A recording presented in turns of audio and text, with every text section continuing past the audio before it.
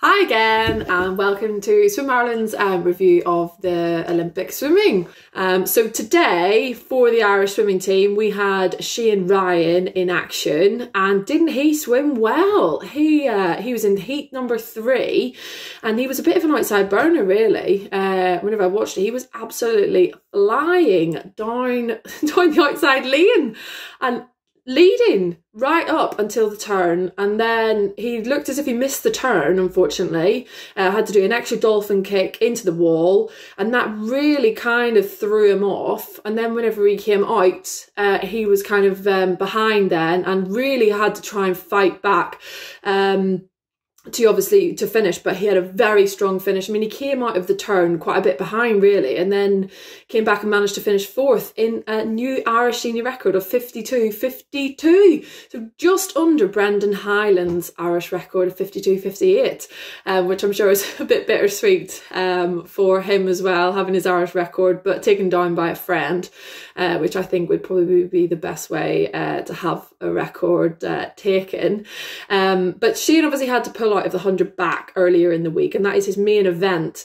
Um, and it just goes to show how well uh, the training um, he he's he's doing in Dublin is really suiting him. The performance centre seems to be doing so well at the minute. It's a really professional setup. Um, kind of just going from strength to strength, and there's a lot of guys coming out of obviously all the performance centres now, uh, which is great to see. Um, and Shane was delighted with his swim. Uh, he had a lovely post interview. He obviously you know, said about his uh, shoulder injury for his backstroke, which I'm sure he's a little bit gutted about because he was uh, on track to make a semi final um, in the backstroke, uh, which is his main event. But he already talked about Paris, um, so he is definitely not, uh, you know, going away from the sport anytime soon. Uh, which is great to see that he hopefully will be around for another Olympics. If he makes that, that would be a triple Olympian, which would be great to see because he is such a talented swimmer. And um, yeah, just watching that, especially with his turn, uh, it just goes to show how much he has left in the tank in that event. Uh, and that's not even his main event. So very exciting, uh, really, uh, for him to come away uh, at this Olympics with a PB in that event, um, which was obviously just a bonus event for him. Um, so great to see him finishing on a high, and uh, yeah, definitely excited to see what he can do in the future.